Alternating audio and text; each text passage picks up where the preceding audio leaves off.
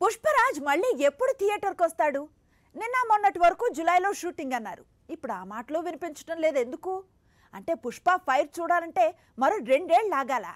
మొదటే రెండు పార్టీలని చెప్పిన వాళ్ళు ప్రిపరేషన్లో ఫెయిల్ అయ్యారా? కథపై అంత కసరత్తుకి కారణం ఏంటి? పాన్ ఇండియా క్రేజ్లో పడి అస్సలకే ఎసరు పెడతారా? దీనిపై బన్నీ ఏమంటున్నాడు? అప్పటి వరకు ఫ్యాన్స్ని పస్తులు పెడతాడా? అసలు శేషాచలం ఫారెస్ట్లో ఏం జరుగుతోంది? నాకు తెలియాలి తెలియాలి తెలియాలి అంటారా? అయితే ఈ స్టోరీ చూడమంట. ఐకాన్ స్టార్ క్రియేటివ్ డైరెక్టర్ కాంబినేషన్లో రెండు వేల ఇరవై ఒకటి ఎండింగ్లో పుష్పతో కలెక్షన్ల సునామీ సృష్టించాడు.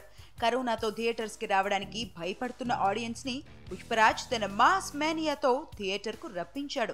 అంతంత మాత్రం పబ్లిసిటీతోనే అన్ని చోట్ల అందరితో తగ్గేదేలే అనిపించుకున్నాడు. సినిమా మొదలుపెట్టినప్పుడు ఒకే సినిమా ప్లాన్ చేశారు. తర్వాత రెండు పాటలుగా రాబోతోందని ప్రకటించారు. బాహుబలి కేజీఎఫ్ సినిమా చూసి వాత పెట్టుకున్నారని అందరూ ఫీల్ అయ్యారు. పుష్ప ది రైజ్ చూశాక తమ అభిప్రాయం తప్పని తెలుసుకున్నారు. బాలీవుడ్లో పుష్పరాజ్ చూసి ఫిదా అయ్యారు. దాంతో మేకర్స్ డైరెక్టర్కు ఫుల్ జోష్ వచ్చింది. మొదట క్యాస్ట్ ఫెయిల్యూర్ మూవీ అని టాక్ నడిచినా బాక్స్ ఆఫీస్ దగ్గర దుమ్ము రేపడంతో పార్ట్ టూని మరింత గ్రాండ్గా చేయాలని ఫిక్స్ అయ్యారు. ఇప్పటికే షూటింగ్ మొదలుపెట్టి కొంత భాగం షూట్ చేశారు. కానీ పుష్ప పార్ట్ వన్ ఇచ్చిన కిక్కు పార్ట్ టూ పై జాగ్రత్త ఎక్కువైందని అంటున్నారు. పక్కా ప్లాన్ పేరుతో సినిమా డిలే చేస్తున్నారు. కథలో చాలా మార్పులు చేర్పులు చేస్తున్నారట.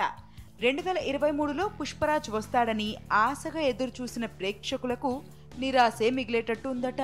రీసెంట్గా సినిమా రెండు వేల ఇరవై నాలుగుకి పోస్ట్ పోన్ చేశారని టాక్. గతంలో బన్నీతో ఆర్యా టూ డైరెక్ట్ చేసిన ఎఫెక్ట్కి భయపడి కేర్ తీసుకుంటున్నాడో. లేక ఇంకోటో తెలియదు కానీ అనుకున్న టైం కంటే చాలా ఎక్కువ సమయం తీసుకుంటున్నాడు సుక్కు. ఐకాన్ స్టార్ ఈ గ్యాప్లో ఫ్యాన్స్ కోసం మరో సినిమా చేసే ఛాన్స్ కూడా ఉందని అంటున్నారు. పుష్పకు ఎలాంటి హంగామా చేయకుండా కథని చెప్పడం వల్లనే సినిమా అందరినీ ఆకట్టుకుందని అంటున్నారు.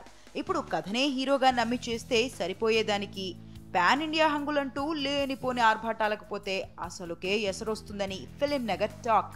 ఎంత లేట్ చేస్తే అంత ఎక్స్పెక్టేషన్స్ పెరుగుతాయి.